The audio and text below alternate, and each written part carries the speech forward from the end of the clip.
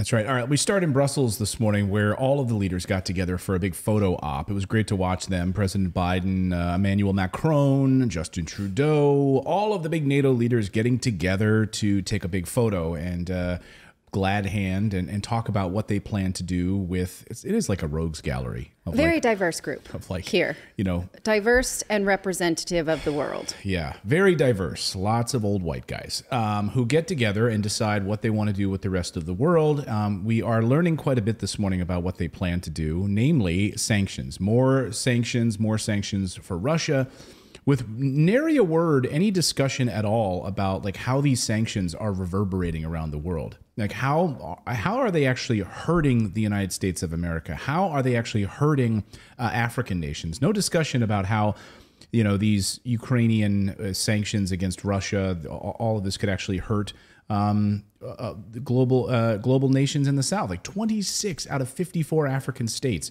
don't support this. Right. Do not support this. But guess who's going to be hit the hardest in all of this? Us. Africa. Oh. Africa America, well, yes, us and Africa, African nations who rely on wheat and all sorts of other exports, crushing, crushing problems for them. Meanwhile, Russia doing just fine. Seems to be, yeah. right? And so, yes, the, there's sort of a global humiliation in terms of anyone who wants to remain on Instagram or Twitter uh, or Facebook, but Russia has already been able to continue to do business. Um, it does not seem as though they are shaking in their boots about more sanctions. But the United States is now worried that the European Union will not be able to survive without Russian gas and exports because the European Union is far more dependent on Russian gas and exports than the United States. So, President Biden is expected by Friday to announce a plan to take Europe off of Russian oil dependence. And the word is that they could, huh, who would have some oil to give? Uh, maybe make sure that the European Union is dependent instead mm. on U.S. oil, which oh, just US doesn't oil. make sense to me, right? Because the United States is also having an oil crisis. Didn't we just fly to Saudi Arabia or like flying to Saudi Arabia to ask? Those uh, those warmongers and, and those human rights abusers, those who literally executed and beheaded 81 uh, individuals last week, like also, we, we want their oil, so we're going to take their oil and then redistribute it throughout Europe. Yes. Uh, also, we are keen to take oil from Venezuela now. When the Trump administration in 2017 had put sanctions on Venezuela for being corrupt, we are now no longer concerned about that. So we could buy oil from Venezuela and provide it to Europe. Um, it's not a very efficient channel. You would think that the European Union would also be able to buy its own oil from other places that are not named Russia. But no, the United States seems keen to insert itself into this. Um, you know, you could say that's nice of them. And you could also say that's opportunistic. You get to choose what you say about it. Meanwhile, the well, United States is like, now making contingency plans. Sorry, just uh, uh, making contingency plans in case Russia decides to use its most powerful weapons. This is sort of like an underlying major theme of this. David, go ahead. But this is like the, the nuclear part of this whole thing is the big concern. Like, what if they use chemical weapons? What if they use nuclear weapons? That's the big concern this morning. Well, and you know, you remember uh, uh, Alex Jones, how he would always follow the Bilderberg group, the Bilderberg mo- meetings. Yes, it's yeah. kind of like now this is the version 2.0 that's just out in the public. They're like, well, we keep getting busted, so let's just have these in public. Like these, all these people get together and decide how our fate. Well, and that's exactly what these meetings are over the. I mean, NATO meeting number one, and then with no no discussion about Africa, right? No right. discussion about uh, these countries that don't support this, right? So they get to drive the narrative for the world and then they get together and they have the big uh, G7 meeting, and they get to decide from there what more they want to do about refugee status, nuclear well, weapons. A, it's a meeting of colonizers. We were just talking about colonizers that's right. yesterday. Yeah. That's what that's what this is. So the U.S. making these contingency plans. Let's go through this David Sanger report. I think it's interesting in case Russia uses its most powerful weapons. Uh, the White House has quietly assembled a team of national security officials to sketch out scenarios of how the United States and its allies should respond if Putin, frustrated by his lack of progress in Ukraine, um, decides to unleash his stockpiles of chemical, biological, or nuclear weapons. Okay, there's so many things assumed in just that opening lead that I have a problem with. First of all, the Tiger United Team. States. By they, they call they're calling themselves the Tiger Team, by the way. Just Okay, but let's say they have quietly assembled this team to think about the what if situations. Um, no, the United States has been doing that for at least 40 years. So this is not all of a sudden what if Russia goes nuclear. right. Um, okay, so there's that. Uh, to unleash stockpiles of chemical, biological, or nuclear weapons. Also, we're assuming that Vladimir Putin feels frustrated and that the invasion is not going exactly as he had planned, which is an assumption, right? So none of us know that. Right. So we this may ac- actually be his plan. I mean, if you um, listen to the West, the West is saying like he's really upset right He's now. losing. He's firing his own. He's firing his own staff. We can't. He can't find his defense minister. Like he went missing overnight. Apparently, apparently, uh, you know who who knows what's actual truth coming out of the Western media coverage of him. Ukraine is winning. Russia's losing.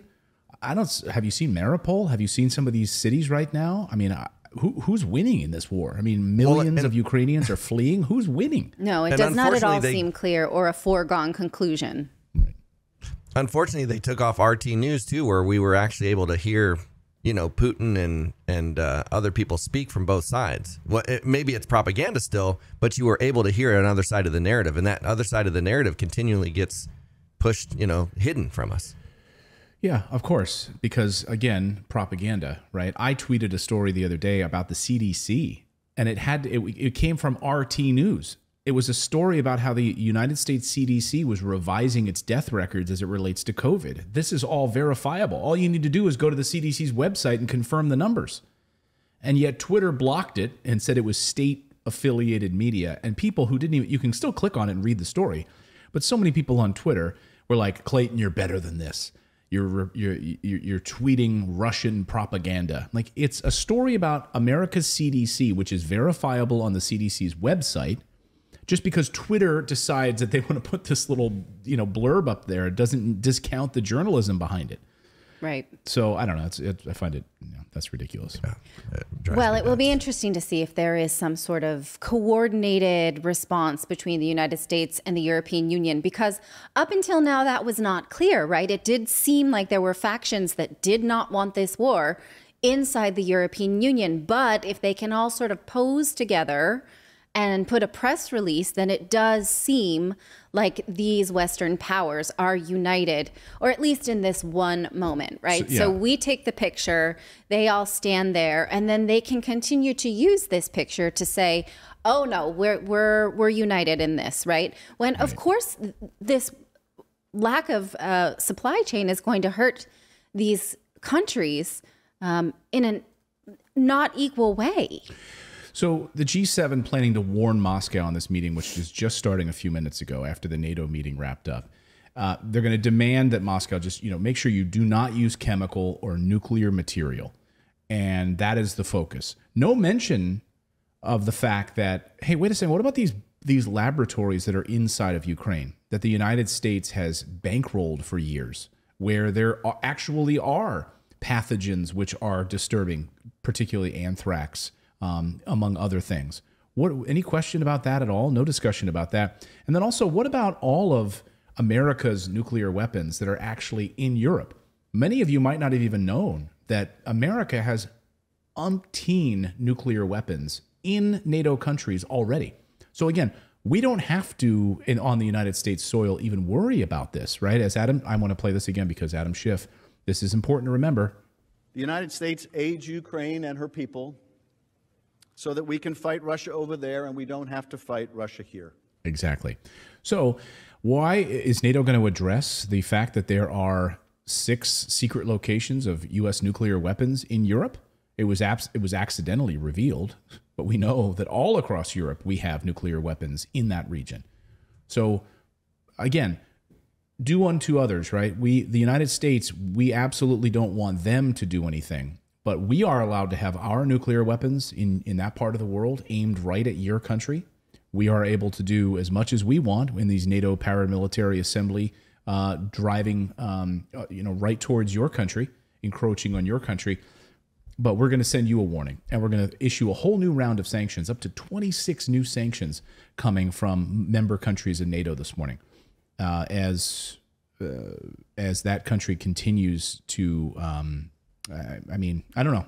I don't even know if it's being hurt right now. We're hearing from um, some of the members of the the Russian uh, oligarchy who said these things aren't doing anything to us. These Yes. sanctions aren't doing anything to us. One of the socialite daughters of one of the Russian uh, Russian uh, leaders uh, came out and It was said, an oligarch's daughter. Yeah. I mean, but that's hardly a representative spokesperson, right? So, okay, maybe, maybe McDonald's continues to pay employees while it shuts down restaurants. But what about the suppliers and the farmers that supply those local restaurants, right? So maybe she's doing just fine, but surely there are people who are hurt by this in small measure um, that just don't actually make it into Reuters. I was gonna say somebody somebody in the the comments is saying like um, RT was exactly like Fox News, and that is so untrue. Like I saw more actual journalism on RT than I've ever seen on any of the the major U.S. networks since the Ted Koppel days.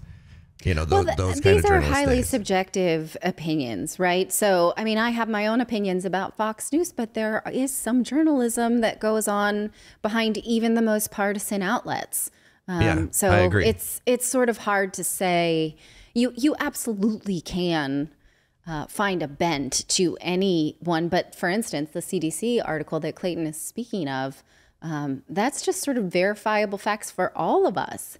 But when we decide to like just block them out because we don't like the, the name, um, we're missing a big piece of the puzzle. And I feel like that's, you know, these Western leaders in this moment are making it seem as the as if these world conflicts are existing in a vacuum. Like we can transition Europe off of Russian oil and we can transition the United States off of Russian oil and it'll only affect the West, and this is the only way we care about it. And then also, Ukrainian refugees are coming, you know, from all over. And so we can fast track them into certain refugee programs, and they're just going to sort of hop to the front of the line. Whereas people from Ethiopia, Syria, Yemen have been waiting for years for even just an appointment with a refugee um, immigration specialist, and they just don't get it, right? And Yeah. so, like, these things absolutely have the butterfly effect, where if a butterfly flaps its wings, the effect is felt miles and hundreds of thousands of miles away. That's happening. Yeah, let's talk about this refugee crisis, right? So, millions, of course, have fled Ukraine heading into Poland. Poland, uh, according to reports I'm reading over the night, uh, a lot of these Polish neighborhoods are just overrun. They don't have space for it, right? So, there's been a lot of questions like, why isn't the United States stepping up here in Ukraine and allowing refugees? After all, we've been we're pumping more money into that area than anyone else in the world, you know, in this proxy war. And we really, if we really care about the citizens, right? That's the thing, right? We're supposed to be, we really care about democracy. We really care about the citizens. Then America should be opening up its doors and shores and transports and getting these uh, individuals out. According to Bloomberg this morning, President Biden said to announce either during the G7 or at some point today, he hasn't made this announcement just yet, but this is according to Bloomberg, that the Biden administration is going to open it up to 100,000 refugees from Ukraine. 100,000. So much so that there's going to be transports available, et cetera, so that they can get them to the United States of America. 100,000. Now, regardless of how you feel about America's infrastructure being able to handle that, that is what's going to happen, right? I couldn't help when I heard this number, though, think of like the massive bowl of hypocrisy about all of these other conflicts you just mentioned Syria, we talk about Yemen, Iraq, Afghanistan.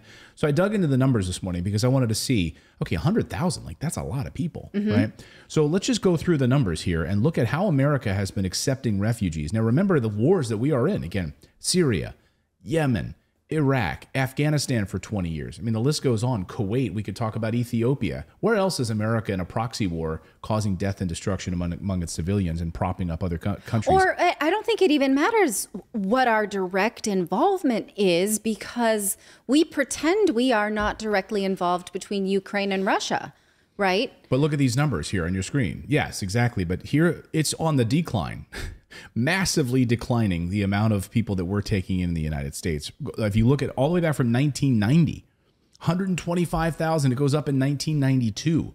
to like 120, 130,000, all the way down now, plummeting down to below like below about 14 or so thousand right now. Just to give you some perspective on Syrian Syrian refugees, right? 2016 was the height of the Syrian uh, refugees that we took in the United States. This year or last year, 2021, 414. Wait, is thousand? No, no, total 100, 400 people. 400 That's like people. one junior high. Yeah. That's who we take in here in the United States. And you look at the numbers here, just diving even further. Since the Syrian civil war began in 2011, more than 4 million Syrians have fled the country, creating the greatest refugee crisis since World War II. Most of them have fled to Turkey, Lebanon, Jordan, but many have risked death to reach Europe and possibility of a better life.